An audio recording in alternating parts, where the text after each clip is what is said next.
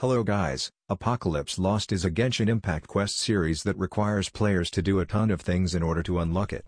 Travelers must find 5 chess pieces to get started. However, before they obtain all 5 of these items, they have to go through the Falcon's Hunt, which requires the following quest series. Golden Slumber and the Dirge of Bilqis.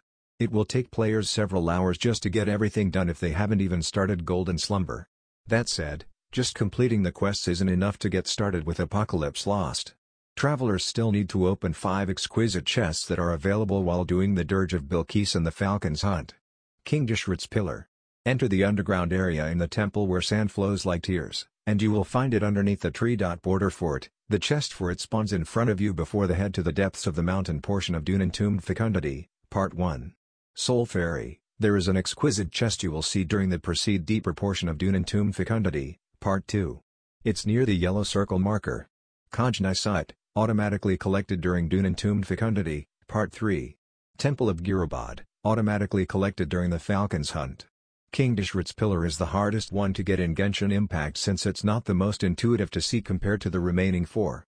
That's why the following image should simplify things for you. Once you get all five chess pieces, you must place them at Safhe Shatranj Range.